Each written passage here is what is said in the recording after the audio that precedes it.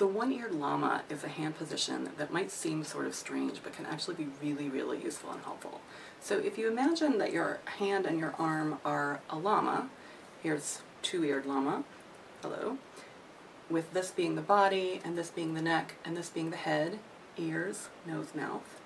The distance between the ear and the nose is actually really far, and if you let your hand close, it can help you find the shape that you need.